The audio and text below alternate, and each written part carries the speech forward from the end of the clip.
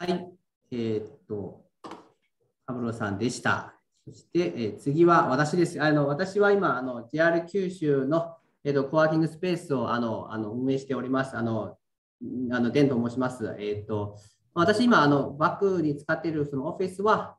えーと、実際の Q のあの写真ですので、博多駅ありますので、皆さん、博多駅に来られるときにぜひ立ち寄ってください。そしてですね、次、えーと、ポールさん、えーと、ちょっと自己紹介お願いいたします。Good evening, everybody. えー、ただいまご紹介いただきましたクイーンズランド州政府韓国局のポール・サマーズと申します。えー、お忙しい中、本日のセミナー、えー、聞いていただきまして誠にありがとうございます。えー、多大なるサポートを得た、えー、福岡のつながるエッドテック様と、えー、Co-working Co-learning Space Q 様に深く感謝申し上げます。えー、クイーンズランド州なんですけれども、えー、クイーンズランド州はオーストラリア北東部に位置する、え、グレートバリアリーフ、え、ケアンズ、ハミルトンと、えー、州都ブリスベンやゴールドコーストを抱える州で、え、日本人の旅行者、にとって、えー、馴染みのある観光地として有名ですけれども、実は日本からのワーキングホルデーメーカーと、えー、留学生もかなり多いですね。えー、1月、えー、22日より、えー、ついに日本から、えー、接あの接種済みの、えー、渡航者が隔離なしで入居できるようになりましたので、す、えー、で、に日本からの、えーまあ、スチューデントを現地でお迎えしております。そしてもう一つの、えー、グッドニュースですけれども、えー、昨日より、えー、オーストラリアから、えー、日本に、えー、帰国する際にですね、あの3回、えー、接種済みの日本人の、えー、方の場合は、えー、全く隔離なしで、えー、入国できるようになったので、さらにあの、まあ、容易に往来できる、えー、ようになった、えー、状況でございます。まあ、こういった、えー、背景をきっかけに、えー、現在、えー、閉局はワーキングホリデーキャンペーンを、えー、実施しております。後ほどその詳細を、えー、ご確認いただければと思います。まあ、今回のセミナーにて、えー、より詳しくクイーンズランドの、え、状況を知っていただき、え、実際にクイーンズランド州で働きたいな、学びたいなと思っていただければ、え、嬉しく思います。ご清聴ありがとうございました。Thank you for listening. Enjoy the seminar. あありがとうございます、ポルさん。それではですね、えー、と次、えーと、本日の、えーと、プレゼンターを3名のご紹介に移りたいと思います。まず、えーと、田村さん、お願いいたします。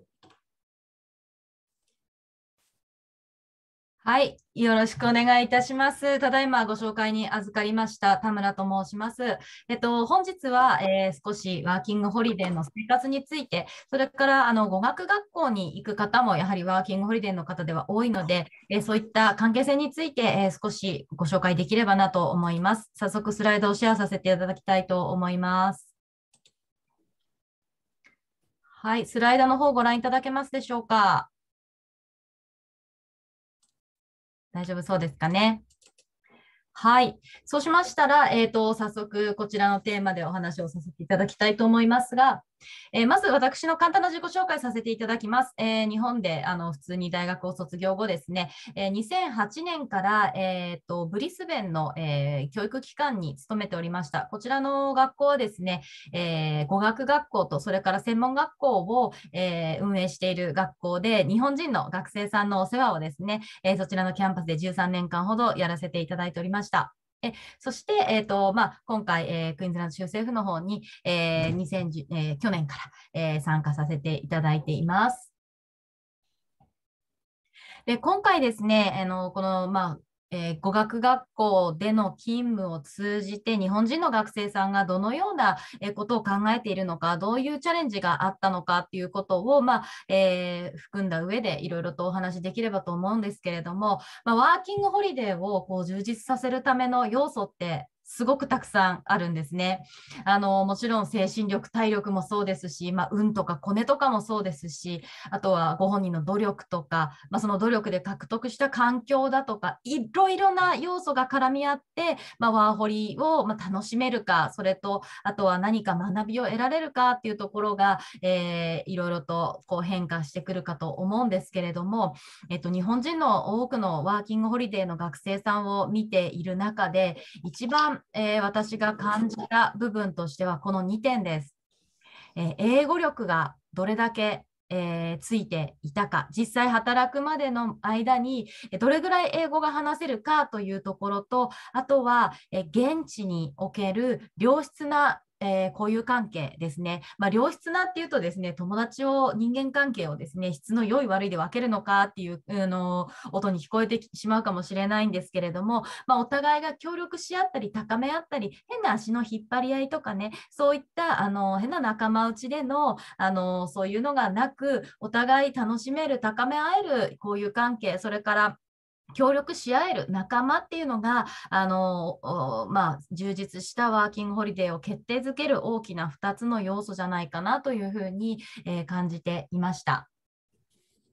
でその際にあの、まあ、語学学校がどういう役割を果たせるかというところで言いますと、まあ、英語力のサイクルというふうにここで書かせていただきましたけれどもまず向かって左側のですね理想的なサイクルっていうところをご覧いただくと、まあ、英語力が、えー、例えば最初語学学校に行って、まあ、中級から中級以上ぐらいあればですね英語ができないと入れないようなアルバイト、まあ、実際に現場で英語を使うっていうアルバイトを、えー、ゲットすることができます。そうすると、普段お客さんとか同僚とも英語で会話をすることになるので、その実践からさらに英語力が磨かれてきて、でさらに、えー、英語力が高まったというところで、新しい挑戦、あるいは時給の高いバイト、紹介を受けて、えー、さらに良い経験っていうのができるっていうところで、いいサイクルにつながるんですね。で、ただこの B の苦労が多いサイクルってなってしまうと、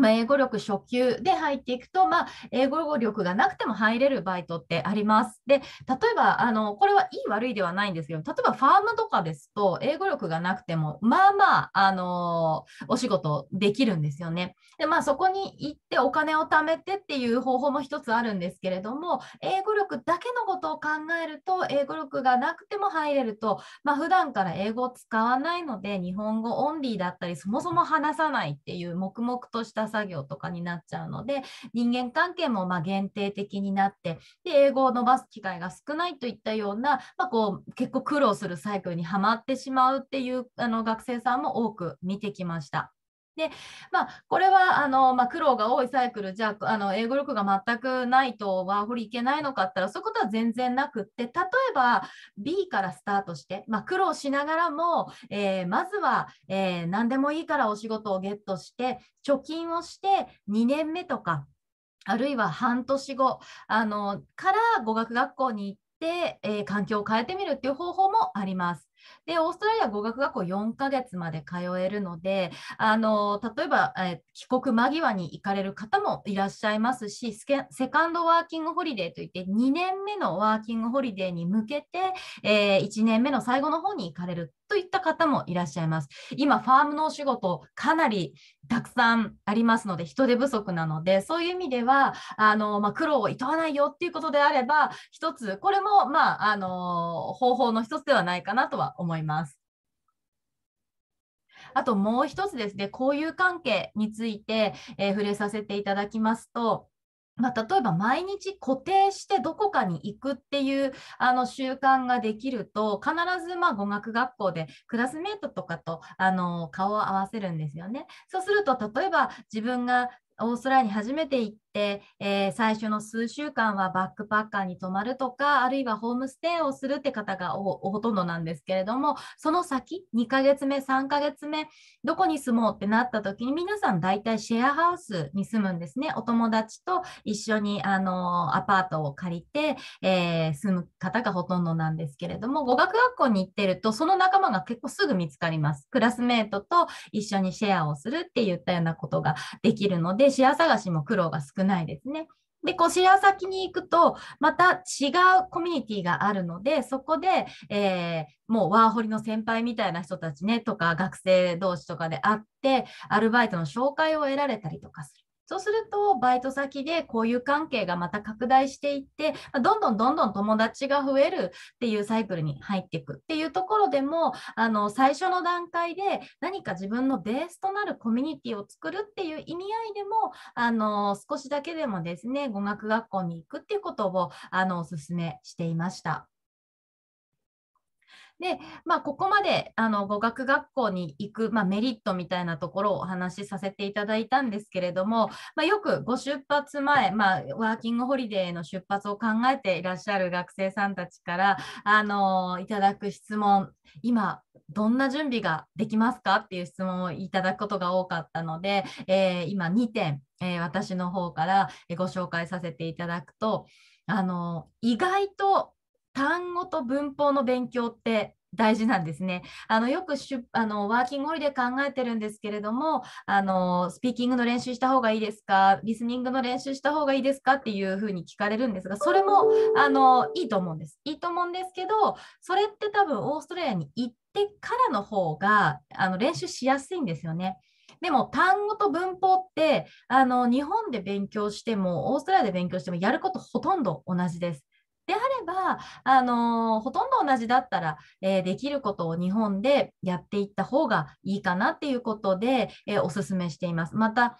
語学学校にいらっしゃった学生さんたちが一番後悔していたところもここでした。えー、単語もちょっとやっとけばよかったっていういうね、文法もちょっとやっとけばよかったっていうふうに皆さんおっしゃいます。だいたい1、2ヶ月で耳も慣れてくるし、勇気があればスピーキングもどんどん伸びていくので、こういう地味な勉強っていうのは日本にいるうちからやってもいいのかなと思います。あとは、えー、1円でも多くお金を貯めておくことですね。経験はある意味お金で買える部分っていうのも正直あったりするんですよね。友達とバーベキューしようって言った時とか、まあ、金欠で行けないっていうこともあったりするとは思うんですけれども、あのできるだけ友達と遊びに行く機会とか、あとは旅行に行く機会とかっていうのを確保していくためにはね、えー某大手チェーンの高い、えーとコーヒーを500円で買うよりも、まあ、ちょっと我慢して、えー、コンビニの、あのー、コーヒー100円で買ってみるとか、そういう感じで工夫しながら日本にいるうちに少しでもお金をね、地味に貯めていっていただけると、あのー、向こうでの生活も少し楽になるんじゃないかなというふうに思うので、ちょっとこの辺を進めさせていただきたいと思います。で、えっと、私の方からは、ちょっとまあ取り急ぎ、あの早口になってしまいましたけれども、え以上なんですが、また後ほどですね、えー、何かご質問等ありましたら、ぜひあのどんなことでもお答えさせていただきたいと思いますので、えー、よろしくお願いいたします。それでは失礼いたします。ありがとうございました。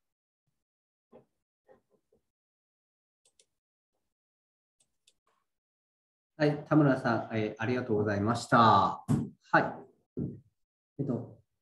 次は、あの、クイーンズランド州観光クイーンズランド州観光局マーケティング部長、あの柴田さん、お願いいたします。はい、えー、ただいまご紹介に預かりましたクイーンズランド州政府観光局柴田と申します、えー、早速画面共有させていただきます。えー、私の方からはですね、えー、クイーンズランド州の概要、えー、そして、えー、キアンズゴールドコーストでどのようなお仕事があるかというのと、えー、そしてですね、えー、我々が、え、始めたワーキングホリデーキャンペーンについて、え、ご紹介していきたいと思います。すみません、画面共有できてますでしょうか。えー、それでは早速始めたいと思います。えー、クイーンズランドなんですけれども、えー、完全にですね、あのー、家事を、えー、経済、えー、優先という形で、えー、舵を切りました。で、えー、今ですね、えー、ワクチン2回目接種が90%、えー、超えておりまして、えー、先ほどのですね、えー、局の局長サマーズからの、えー、お話にもありました通り、1月22日より、えー、日本からは隔離なしで、えー、入国、入居できるようになっております。また、えー、2月の21日からはですね、全世界から、えー、ワクチン2回接種、えー、した、えー、方は隔離なしで入居、えー、入手できるというふうになりました。はい。えー、そしてですね、あの現地、えー、医療体制も、えー、非常に整っております。もしあの言葉に自信がない方もですね、えー、ケアンズゴールドコーストブリスベンにはですね、えー、日本語が通じる医療センター、えー、またはですね、えー、日本人の、えー、医師がいる病院が、えー、ございますので、えー、安心して、えー、暮らすことができます。はい、えー、それではクイーンズランド州の概要を説明させていただきます。えー、クイーンズランド州はですね、オーストラリアの北東部に位置します。えー、日本から直行便で、えー、北部のケアンズはですね、えー、成田キックスから、えー、飛行時間約7時間から7時間半で到着いたします。えー、南部のブリスベンゴールドコースト、えー、は約8時間半で、え、到着いたします、え。面積は日本の4.5倍です。そこに人口は500万人しか住んでいません。え、コロナ前ですが、え、日本からクイーンズランドへの渡航者21万9000人の方に来ていただいております。え、そしてそのうちですね、えー、語学研修修学旅行の生徒さんが約3万5000人という形になっております。そしてクイーンズランドにとって日本というのはですね、世界で第2番目の貿易相手国ですね、非常に重要な貿易のパートナーです。天然資源、天然ガスとかですね、石炭なんかを日本に輸出しております。また観光や教育産業の結びつきというのはもう50年以上になります。一つ面白いデータなんですけれども、これは2018年にですね、えクイーンズランド州の、え州立公立高校の生徒が、え受講した、え勉強した第一外国語選択した第一外国語になります。なんと、え圧倒的に日本語がですね、え人気がございます。51%の生徒が日本語を選択しています。え第2位の中国語が16%と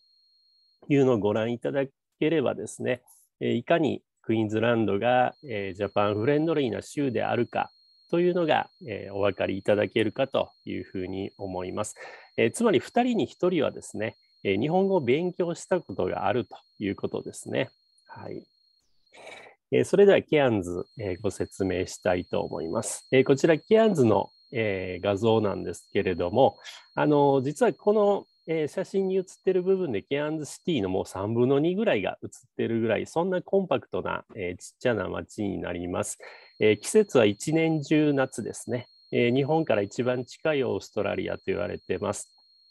えそして街中にはねですね、スタディケアンズというのが主催しているスタディハブという学生さんが自由に使える、ラウンジも、ございます。日本からの渡航者がですね、えー、多い年間11万人ほど、えー、渡航しているんですけれどもという理由で日本の領事館もございますので、えー、安心ですね、えそして今回のキャンペーン、え語学学校が12週間無料になるというキャンペーンなんですけれども、えケアンズカレッジ・オブ・イングリッシュ・ビジネスというところが、え協力してくれております。こちらも街中の非常に便利なところにございます。えケアンズの主な職種なんですけれども、えー、と今、先ほど田村さんのお話にもあった通りですね、いろんな業種で、え、人が不足しております。特に、え、ホテルや飲食店なんかはですね、え、人手不足で、え、営業に影響が出ているようなところも出ております。え、そして、え、山の方、高原の方に行きましたら、え、農園やファームもございます。また日本からの渡航者も多いということで、ツアーガイドのお仕事やですね、えそしてグレートバリアリーフでのダイビングインストラクターのお仕事、えそのクルーズイン乗船する乗務員のお仕事などがございます。はい。えー、次、ゴールドコースト行きたいと思います。ゴールドコーストはですね、えー、この白砂の海岸線が57キロ続くのが、えー、特徴ですね、えそして年間晴天が300日ということで、一年中温暖な気候です。えまた、えー、ゴールドコーストもですね、えー、街中に日本語が通じる、えー、医療施設が、え、ございますので、安心して滞在いただけます。え、今回のキャンペーンではですね、2校語学学校ですね、The Language Academy と Pacific English Study というところが、えー、12週間の、えー、語学語学学校、えー、無料というのに協力、えー、してくれております。はい。えー、ゴールドコーストでの主な、えー、お仕事なんですけれども、えー、マーケットやショッピングセンターたくさんございます。そして、えー、サーファーズパラダイスというだけあって、えー、ゴールドコーストにですね、ワーキングホリデーで来る方、サーフィンする方が、え、大変多いです。えー、私もその一人だったんですけれども、私も私もですね、ワーキングホリデーでの時はサーフショップに勤めておりました。えー、また飲食店、えー、ラーメン屋さんなども含めて、えー、日本食屋さん、えー、等もたくさんございます。えまたゴールドコーストも日本からのお客様が多いということで、ツアーガイドのお仕事もございます。えあとは各種サービス業ですね。えこの中古車屋さん、え日系の中古車屋さんなんかも、えございますね。えまたは教育、え産業や IT 産業なんかでのお仕事もございます。はい。えー、物価に少し触れたいと思うんですけれども、オーストラリア、えー、30年連続でですね、経済成長しております。えー、経済成長イコール、えー、物価も高くなっているんですけれども、えー、賃金もですね、えー、上がっております。えー、今、オーストラリアの最低賃金、えー、ついに20ドルを超えました。えー、為替80円ちょっとで見てもですね、もう1700円時給1700円ぐらいに、えー、なっています。えー、そしてですね、あのこの物価のところでちょっとスーパーマーケットとコンビニエンスストアと書いたんですけれども、えー、日本以上にですね、えー、時間をお金で買う感覚、えー、が強くてですね、コンビニエンスストアすごく高いですね。え水1本3ドル、4ドルしたりします。えそれをですね、スーパーマーケットに行くと、え1ドル以下で買えるというような、そんな物価事情になっております。えそして弊局がやっておりますワーキングホリデーキャンペーン、えなんですけれども、えワーホリクイーンズランドと、え検索サイトで検索していただくと、えこちらの、え弊局のですね、ワーキングホリデーのページが出てえー、参ります。えー、こちら、えー、ケアンズ1名、ゴールドコースト2名がですね、12週間の語学学校無償で、えー、提供させていただくというような内容のキャンペーンになっておりますので、皆さんぜひ、えー、ご覧いただいてご応募いただきたいと思います。えー、またですね、4月19日までに渡航された場合は、ビザ代が485ドル現地でですね、えー、戻ってくるような、えー、ことも連邦政府から、えー、出されております。えー、ぜひワーキングホリデーキャンペーン3月27日までのお申し込みとなりますので、皆さん、ふるって応募していただければと思います。最後に、えー、まとめます。親日的で良好な関係である、そして安心安全衛生的である、えー、大自然を体験できる、多文化社会を経験できる、そして先進の環境保護を体験できる、えまた、え豊富な受け入れ実績があるというところで皆さん安心して、えオーストラリア・クイーンズランド州に来ていただけ、えます。えー、ぜひ日本語のですね、ツイッタークイーンズランド JP とやっておりますので、えー、皆さんぜひですね、えー、フォローしていただければと思います。えー、駆け足になりましたが、私からのプレゼンテーションになります。えー、ありがとうございました。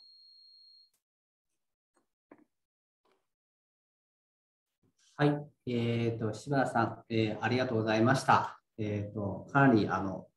クイズサムについてあの詳しくご説明していただいたので、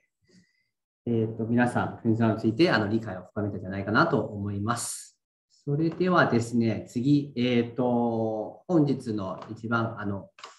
えー、とタイトルもあるんですけど、あのクイーンズランド大学に、えー、と現在も在籍している、えー、とえっ、と、菅井さん、えっ、と、お願いいたします。こんばんは。とただいまご紹介いただきましたブリスベンのブリスベンにある大学に留学しております菅井と申します。よろしくお願いします。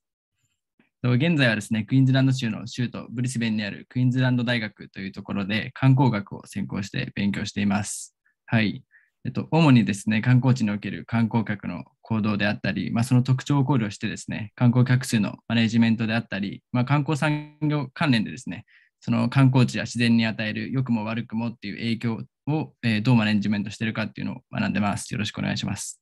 はい、あの、ご紹介ありがとうございました。はい、あの、本日、あの、まあ、3名、今まで、あの、今、あの、お二人の話聞いていただいて、多分菅井さんが一番、えっ、と、まあ、クイーンズランド、まあ、この中で一番クイーンズランドを分かっている日本人ではないかなと思っていますので、あの、多分直近でも、あの、まあ、クイーンズランドに、あの、あの滞在されて、まあ、今はちょっと日本にいらっしゃるんですよね。そうですね。はい。はい、ちょっと今、日本にいらっしゃるでも、もう、あの、もうそろそろ今年もすぐ、あの、戻られる予定ですよね。そうですね。はい。でクイズランド大学に大あのあの今あの在学しているんですけど、まあ、そもそもなんですけど、多分あの今日の皆さんも同じあの疑問あるんですけど、ななんでクイーンズランドに行ったんですか？当然、あの今あの、田村さんとかあの柴田さんはおっしゃったようにめちゃくちゃいいんですけど、ただやっぱあの普通の外要は外国人というかあの、オーストラリアの外の人からすると、まあ、大体最初思いつくのはシドニーかメルボン。ああとはパパースの方はあの有名な場所として多分最初は頭の中に浮かびあの来るんじゃないかな。そしてまあ留学先としては最初そっちの方に行くんじゃないかなと思うんですけど、なぜあの菅井さんは最初、あのまあ、最初じゃないじゃないかもしれないですけど、まあ、クイーンズランドに、えー、と選んだんですが。そうですね。主に2点ありまして、まあ、1点目は、まず僕は最初にオーストラリアを訪れたのがクイーンズランド州のケアンズでして、これは高校の修学旅行で、えっと、ファームステイと、あとグリーン島にアクティビティをしに行ったんですけれども、そこでまずクイーンズランドとの出会いがありました。で、まあ、もう一つなんですけれども、僕はまず最初日本の大学に進学したんですけれども、そこで今まで高校までサッカーにばかり打ち込んでて、で、大学に、まあ、友人何人かと進んだんですけれども、まあ、そこで僕の周りの方々は体育会でサッカーを続けたんですけど、僕はサッカー続けなくてですね、まあ、一人だけ放課後とかに疎外感っていうのを感じてしまいまして、で、以前からやってみたかった旅行っていうのをイタリアで2週間くらい行きました。で、その時にですね、えっと、まあ、その旅行を通じて世界の広さというか反対に言えば、日本、僕が生きる世界の狭さっていうのを感じまして、で、旅行で、その、まあ、英語であったり、僕は当時話せなかったんですけれども、ボディーランゲージだったりでコミュニケーション取っていくうちに、まあ英語が喋れたら、なんか世界もっと広くなるなと思いまして、で、その時、旅行が僕の人生を大きく変えてくれたんですね。で、その旅行、まあ、その観光学っていうんですけれども、を学びたいと思い、まあ、Google とかで検索したところ、その現在通っているクイーンズランド大学の観光学がすごい定評、世界的にも定評があって、で、僕はクイーンズランド州にも行ったことあったので、どれだけすごい観光地がたくさん揃ってるかも、まあ、少し知っていたのと、あとそのクイーンズランド州がいかに、まあ、素晴らしい観光地、本当にたくさんあるんですけど、大学の周りに学ぶにはすごいもってこいの環境だと思って、クイーンズランド州に選びました。あなるほどですね。まあ、じゃあ最初はまあ高校時代にまああの行く、まあ、その留学する前にまあまあちょっと出会いあって、まあ、自然にまずあのクイーンズランドというあのまあイメージが頭の中にあったんで、そしてそこからやっぱり自分勉強したい、まあ、科目で検索したらまさかじゃない、ちょっと言い方あれなんですけど、あのまさにそのクイーンズランド州は一番その観あの看護観光学科についてまあ強いっていうか、というところで、まあ、あのクイーンズランドに今たどり着いたという形ですね。はい。はい、ありがとうございます。で、まあ、実際は、今、あのに実際は何何年、2年くらい住まれてたんですか、クイーンズランドに。はい、そうです。あの、まあ、さっき、あの、柴田さんはいっぱい、あの、おっしゃったんですけど、クイーンズランド州の今、どこの辺にいらっしゃる？あのケケインズにいらっしゃるんですよね。と僕はブリスベン。ブリスベン、あ、ブリスベンにいらっしゃるんですよね。はい。でブリスベン、うんまあ、その今あの、今実際住んでて、はいあ。のどどうですか？あの柴田さんのおっしゃった通りにめちゃくちゃあのいいですか？そうですね。まあ、はい。僕からしたら、はい。すごいいい環境だと思っていて、はい。はい。でなぜかというと、ブリスベンって都心の部分がメルボルンとかと比べてそこまで大規模じゃなくて、はい。はい。で、そうですね、都心を離れるとすぐ、まあ、閑静な住宅街があって、まあ、その外にはもう自然が広がっていて、はい。はい。綺麗な海も週末に行けますし、ハイキングも行けるので、はい。はい。そこは自然好きの僕からしたらすごい嬉しかったですね。あなるほどですね。じゃあもうあの、まあ、期待通りというか、もうあの自分は想像したあの生活をそのまま体験できているというような形です。しかも観光学を勉強しているので、まあ、なおさらこういう観光のものは一番好きというか、めちゃくちゃ回られてるんですね。そうですね。週末に結構足を運ばせていただきました。週末結構走らせて、結構じゃあ、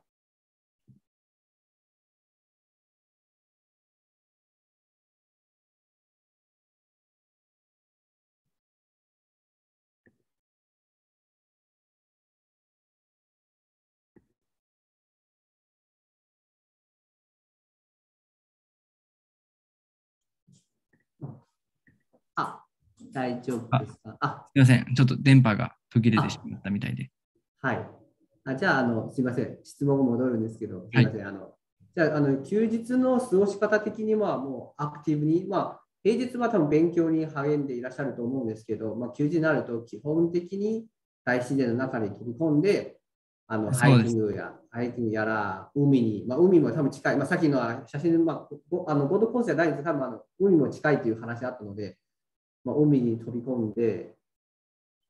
そうですね。っていう感じですよね。はい、池に飛び込んだり、まあ、あとは友達と、まあ、シティの中でもそう遊んだり。式の中でも結構アクティビティがいっぱいあるんですか？そうですね。やっぱりブリスベンのいいところは自然もあって都会もあるっていうところだと思うので、はい。まあ、はいその中でどっちも取れるっていうのは大きいかなと思います。なるほどですね。あと、あれですかね、あのまあ、さっきあのあの、えーと、スライドの中でもあったんですけど、やっぱその物価が高いというところも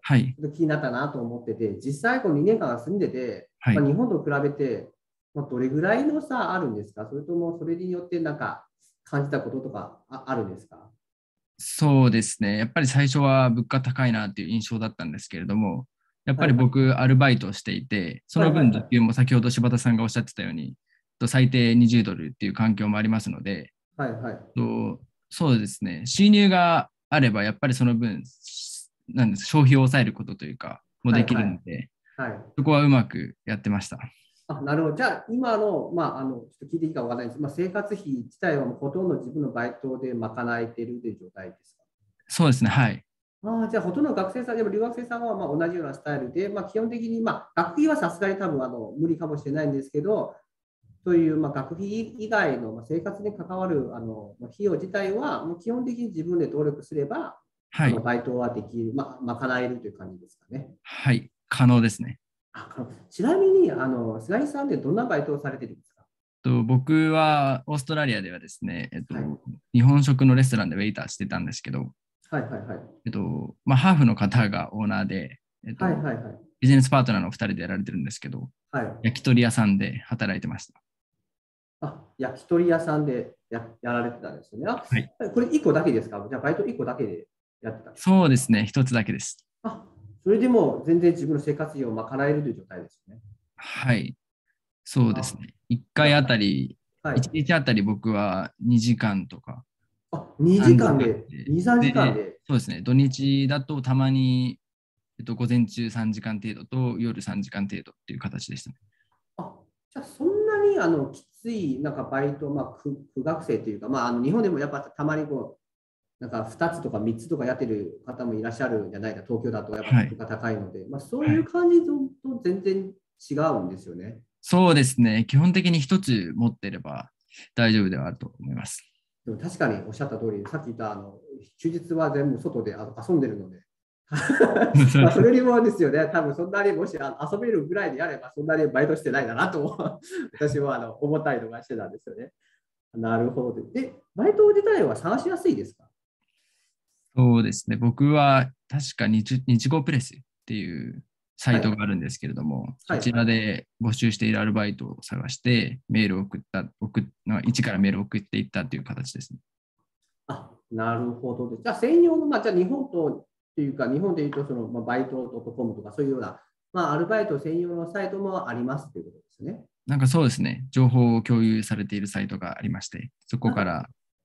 ああ、なるほど。日本人向けのそういうサイトとか、日本人コミュニティ用のサイトとかもございますか？なんかその生活に、今、今最新来た、最初来た時はみんな困るんですよね。まあ、事前に今調べるんですけど、ですけど、やっぱ現地の情報とか、その専用のサイトとかあったらいいなと思うんです。そういうのサイトとかはございますか？そうそうですね。僕の印象だと、やっぱりオーストラリアは日本より Facebook 使われてる方多いので、Facebook にコミュニティがあります。あ、日本人向けの Facebook のコミュニティですね。そうですね。はい。ああ、なるほど。じゃあ、あのそこに行く、じゃあ、それをい行きたい人は行かなくても、とりあえず行ける、入れるって感じですね。そうです。あ、なるほどです。わかりました。はい、あの、すみません。ちょっと、あの、あの、それさん、ちょっと質問を今聞きまして、はい。えっ、と、週末の、あの、祭日に働いた場合、時給をいくらぐらいもらってますかっていう、はい、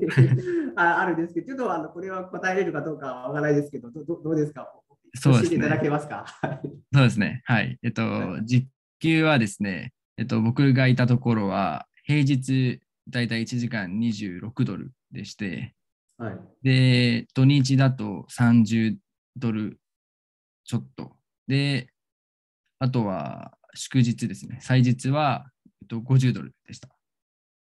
これ、オーストラリアドルですね。そうですね。まあ大体8かけぐらいですかね。あの、かける80ぐらいですかね。今だと。といえっと、働く時間ですか？あ、いや、あの、日本円に換算する50ドルであれば、えっ、と、4000円ぐらいですかね。そうですね。もう、そうか、要は、と祝日働く場合は、あの1時間4000円の時給で働ける。でそうです26ドルだったら、まあ、大体2000円ちょっとですね。安くても2000円ちょっとぐらいの、えっと時給をもらえるということですね。はい。なるほどです。かなり高いですね。そうですね。はい、なんか、あの、微笑んでるので、すごくなんか満足してる顔してますね。はい、はい、わかりました。で、あの、まあ、実際、あの、まあ、すまあ、まあ、いいいいことだけではないと思っているので、まあ、実際、例えば、あの、まあ、実際2年間住んでいたいらっしゃって、まあ、実際の現地に住んだ後に、まあ、あの、なんか、最初想像とちょっと違ったところとか、なんかアドバイス的に、あの、なんかこれから行きたい人たちにちょっとアドバイスをいただけたらなと思ってるんですけど、なんかそういうなんかギャップとかちょっと気をつけた方がいい部分とかはあったら、ぜひお願いしたいなと思います。そうですね。まあ、アドバイスとしては、お部屋探しですかね。お部屋探しするときに、まあ、何個かサイトあると思うんですけれども、はい。えっと、僕が一番気をつけてほしいのは Facebook で、えっとはいはい一回そのお部屋探ししてるときに、えっと、まあ、僕は結局違うところで見つけたんですけど、いくつかその自分が住んでみたい部屋にアプライするというか、メールを送るんですけど、その時になんか明らかにゴージャスな部屋があるんですよ。はいはいはで、い値段もそこそこ悪くない値段で払えるくらい。で、はいい、ざメールを送ると、そのパスポートを送ってくれみたいなはいはいはいのが来たり、はい。まあ、要するに多分詐欺なんですよ。あ実際に多分そこの部屋は売ってなくて、個人情報だけ抜き取ってっていう詐欺を多分 Facebook 上で、えっと、横行してるので、そちらは気をつけた方がいいかなと思います。なるほどですね。あのまあ、一方、Facebook は非常に情報源情報源としてめっちゃあの助かってるんですけど、やっぱそこはあの、まあ、規制はないっていうか、まああのですね、管理者はちょっと明白ではないので、一部フェイク、フェイクのとか詐欺みたいなものもあの、ままま巻き込んでるので、そこの辺を気をつけた方がいいっていうことですよね。はい、そう思います。あのなるほどですね。部屋探しの、あちなみにオーストラリア部屋探しの時に、あの、はいなんか仲介料とか払われます？いや、ないですね。あないです。自分で見つければ、基本的に問題ないという、っていうかあの、特にお金を取られないということですね。そうですね。もしかしたらサイトとかによるかもしれないんですけれども、僕が使ってたものですと、ないですね。わかりました。ありがとうございます。はい。えっ、と、ちなみにですけど、あのもうもう一個あの聞きたいことがあって、実際今、クイーンズランド大学の学費とか、その辺の,、あのコストとか、もしシェアできたら、あのお願いできないかなと思っていました。大体どれぐらい、まあ、年間の学費どれぐらいですか、そしてまあ大体毎月どれぐらい、あのまあえっとまあ、支出あるんですか、その辺も教えていただけたらいいなと思うんですけど。はい、わかりました。そうですね。えっと、学費としては、今は僕、オンラインになってしまってるんですけれども、はいオンラインだと、えっと、何パーセントがディダクションありまして、あはい。で、まあ、先ちょうど先週くらいに僕は払ってきたんですけど、はい。大体その1学期、日本円で167万くらいですね。160、あ、いや、170万ぐらいですね。そうです。なので、えっと、フェイス2フェイスであのオンキャンバスで受ける場合は、もしかしたらえっと200万円くらいと見ていただけるといいかなと思います。あの、今おっしゃった、あの、1学期って、あの、スパンはどれぐらいですか？何ヶ月ですか？とえっとまあ、2学期制なんですけれども、あ、2学期今僕が受けてるのは2月末からだいたい6月中旬くらいまででして、はいはいともう一つが、えっと、8月7月の終わりぐらいから10月から11月の間くらいまで行われてます。なるほどですね。なるほど。あ、じゃあ、あの、アメリカと一緒で、まあ、あの、えっと、まあ、9月、9月、6月という感じですね。その中で、まあ、2学期に分けて冬という感じですね。なるほどですね。はいあとは、じゃあ、まあ、年間400万ぐらいの学費がかかるということですね。大体そうですね。あと、その毎月どれぐらいかかりそうですか、と生活費でいうと、僕はシェアハウスに住んでいたんですけれども、はいはい。えっとまあ、ベッドルーム、ベッドと机っていう形で、あとキッチンはシェアで、トイレとシャワーがシェアでした。で、はい大体、えーそうですね、日本円で6万円くらい月払ってました。ああ、なるほどですね。月6万あ、じゃあ、そんな高くないですね。ただあので、はいまあ、その食事としましては、まあ、外食はたまにするんですけれども、外食だとちょっと高くなってしまうんですよ。で、ラーメンとか1杯大体十数ドルしてしまうので。はい。で、僕はよく自炊してたので、スーパーに行ってたんですけれども、はい。大体1週間100から130ドルくらい目安に購入してました。ああ、なるほどですね。なるほど。そうすると、まあ、月はあの4万、4万からまあ5万円、5万円、4万円ぐらい、4万5千円ぐらいですね。あの、あの食事代ぐらいはですね。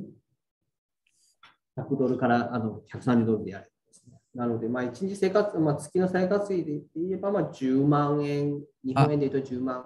すみません失礼しました。えっと、食費の方は、はい。僕、週に一度買い物に行ってたんですけれども、1回の、えっと、そうですね、買い物で40ドルぐらいを意識してたので、もっと安い。はいはいなので、食費で言うと2万円はいってないのかなと思いあ、ます。2万円。あ、そうか、他のものを全部含めてって感じですね。そうですね、すみません。あじゃあ、まあ、っていうと、まあ、それだったら、まあ、全部含めて、まあ、一月10万円ぐらい、生活そうです。費として、まあ、ランニングコストとしてあのかかるよという形です、ね。なので、まあ、そうですね、学費は皆さん、これで多分あの、あのオーストラリアであの大学通うときにも大体の費用はまあ分かると思うんですけど、まあ、大体、まあ、学費は年間400万ぐらいかかって、まあ、生活費としては、まあ、月10万円ぐらいかかっていきます。ただ、その10万円を基本的に自分で稼げるよっていうことですね。はい。はい、ありがとうございます。はい、すみません。あ、えっ、と、ちょっとあの、最初田村さんのあの話にちょっと戻るんですけど、あの、実際、あの、菅井さんはその語学学校は行ってましたか？とそうですね、オーストラリアの語学学校は行ったことがないんですけれども、あ、はい。え、カナダの行逆にちょったこと。あ、カナダに行ったんですか？そこに行ってから、大学は直接進学は、まあ、オーストラリアという形ですね。そうですね。ですけれども、えっと、僕は日本人でしたので、日本人の方が日本語の高校を卒業して、オーストラリアの大学に直接入学っていうのはとてもハードルが高くて、まあ、はい。国際バカロレアっていう資格が持ってたりとか、まあ、そういった条件を達成しないといけないんですけれども、はい。普通の日本の公立高校に通ってたので、1年間ファンデーションコースっていう形で、オーストラリアの高校生が勉強するような経済であったり、あと数学だったり、経営の教科を1年間、大体10ヶ月くらい受けまして、はい。えーそちらの成績に基づいて、えっとまあ、自分で学部選べるんですけれども、僕はもともと観光学部に興味があったので、観光学部に進学しました。ああ、なるほどですね。あじゃあもう、要はプレイスクールみたいな感じで1年間やっぱかかるということですね。直接そうですね。そこも語学の勉強ももちろんあるんですか？えっと、まあ、英語の勉強っていうのはないんですけれども、はい。アカデミック英語っていう形で、やっぱ大学入るにあたって論文書いたりとか、エッセイ書いたりとかはいはいあるので、それに向けたアカデミック英語っていうのを勉強しますね。あ、なるほど。いわゆる ESL みたいな第二外国ではなくて、まあ、そはいの大学用の英語の勉強でしたんですね。そうですね。なるほどです。実際、あの、ブリスベンで結構日本人いっぱいいますか？結構友達もできやすい。あの、まあ、田村さんのあれもあの戻るんですけど、結構、あの、まあ、友達というか、こういう関係は非常に大事というあ、書いてたので、まあ、実際、まあ、今見てる、まあ、あの、視聴者たち、皆さん考えているのであれば、やっぱ、いざと行くときに、私はそこにいたら、本当に友達できるの？っていう不安も多分抱えているので、実際、菅井さんはそこにいてど、どんな感じで、まあ、友達できたか、そして、まあ、その、まあ、友達の国籍とか、どんな人たちと今、あの、友達できているか、その辺をもシェアしていただければと思いますが。そうですね。はい日本人の友達をもし作りたいと思ったら、全然作れる環境ではあると思っていて、はい。えっとまあ、僕はちょっと日本人と関わるよりはもっと英語を鍛えようと思っていたので、あんまり意識してなかったんですけれども、はい。スーパーに一人で行くと結構日本語の声聞こえたりするので、まあ、結構その日本人の方でもし日本人と仲良くしたいということであれば、えっと、そのそのようなコミュニティは作れるのかなと思います。ではい実際は菅井さんはやっぱ今、あの現地の方との友達は多いっていう感じですか？そうですね、やっぱり授業で交流もあるので、はいはいはい。そうですね、そういった方と仲良くもしますし、あと、実は一番仲いい友達は、こういうこと言ってて矛盾してると思うんですけど、日本人で。で、彼とはそのバイトで出会ったんですけれども、はいはいはい。そうですね。はい。なるほどですね。実際は、あの、と言いつつも、結果、あの、一番仲いい友達は日本人というところで、はい。まあ、皆さんは、そう実際は現地にいても、まあ、皆さん多分そういうのあるんですね。まあ、やっぱその英語とか勉強したいから、まあ、ちょっと、まあ、日本人、まあわざと日本人探すより、まあ、普通の現地の友達とか、他英語使う外国の友達とまあ仲良くなるという心理的にあるんですけど、もう結果、日本人の友達もできるよということですよね。そうですね、自分次第ではどちらも作れると思いますはい。ありがとうございます。はい。あの、そうですね、あの、ちょっと結構いろいろ聞きましたので、あの、なんかあの、今日今視聴者の方から何か、えっ、と、菅井さんにちょっと聞きたいことありましたら、ぜひ、あの、質問していただければと思います。また、あの、田村さんとか、あの、柴田さんへの質問があれば、全然、あの、聞いていただければと思います。私が気になったのは、さっきのあの 12, か 12, 12週のあの無料の、えっと、無料のこうあのなな無料コースですか？無料の、無料のチャンスはどうしたらゲットできるかなとか、まあ、思うんですけど、実際視聴者の方はもし、えっと、質問あれば、えっと、マイクとカメラオンにしていただければ、まあ、あの恥ずかしいであればあの、チャットの方であの質問しても構いませんので、ぜひあのこの機会を使って、えーと、オーストラリア、そしてクイーンズランド州、特にクイーンズランド州についてあのもっと知っていただきたいなと思います。はい、いかがでしょうか？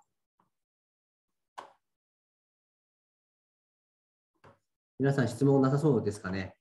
皆さん結構、そもそもクイーンズランド州は最初からしてるという感じで、結構いい感じですかね？あ、あ、ティーンさん、いいですか？はい。あの、先ほどの、えっ、と、うちのクイーンズランド州政府観光局のキャンペーンなんですけれども、12週間語学学校が無料になる。えっ、と、今、えーこちらのチャットにうちの局長が挙げてくれたんですけれども、あのクイーンズランドワーホリっていうふうに検索サイトに入れていただくと、えーワーホリページが出てきますので、えーそちらの方を見ていただくとですね、あの応募方法、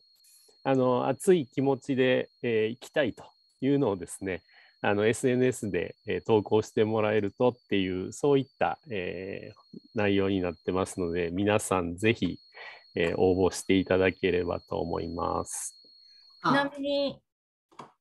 はい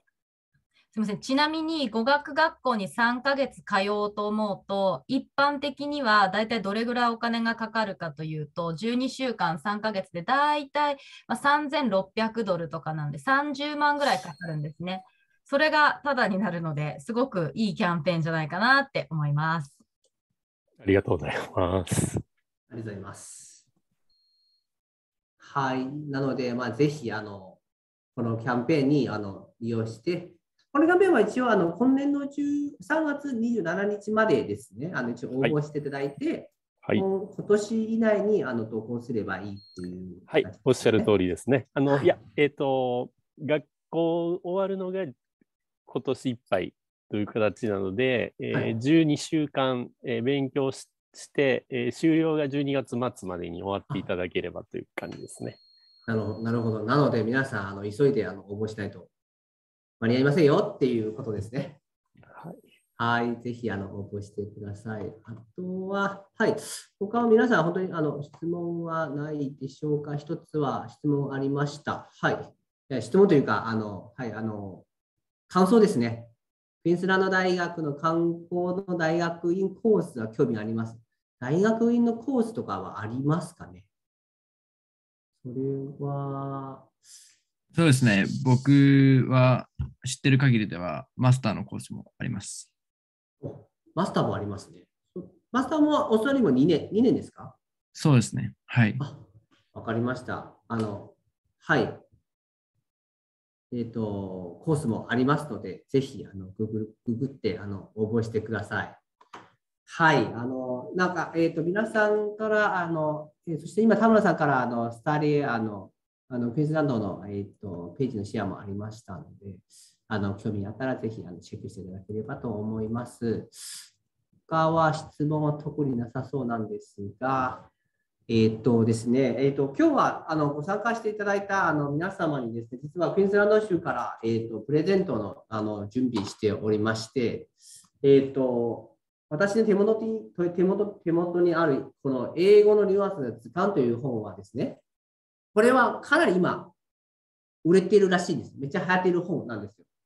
あのこれはあのクイーンズランド政府の、えーっとポールさんから、えーっと Q に送っていただいて、今日の参加者から、えー、とこの本を欲しい人にあのプレゼントしたいと思います。そしてですね、えっ、と、結構大盤振る舞いですよ、うちは。はい。はいあのあり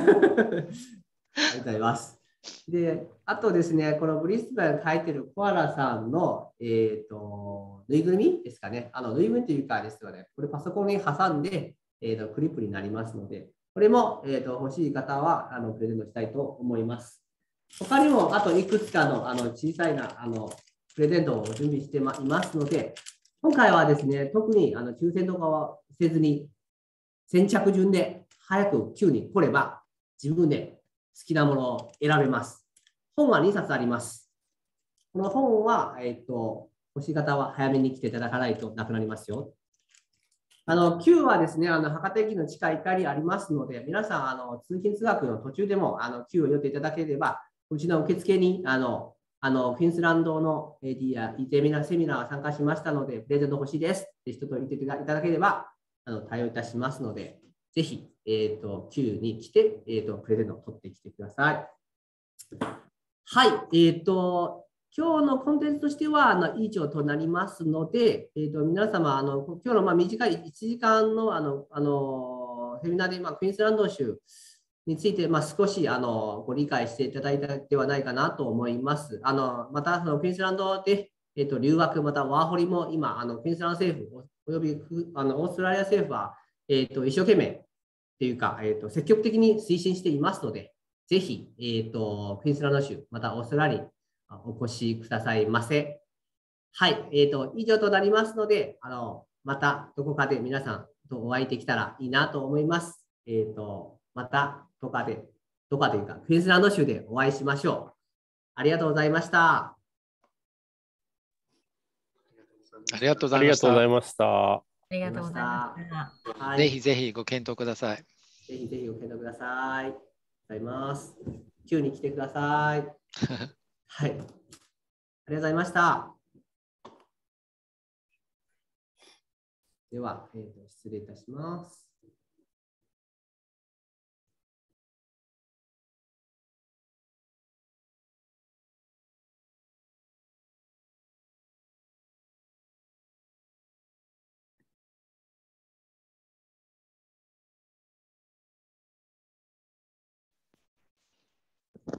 菅井さん、ありがとうございました。あいえいえ、ありがとうございました。ありがとうございました。バッチリでした。本当ですか？うんよかったです。うん、本当に上手でした。ありがとうございます。うん、そのうち我々の名誉、あの、親善大使になりますよ。あぜひ お願いいたします。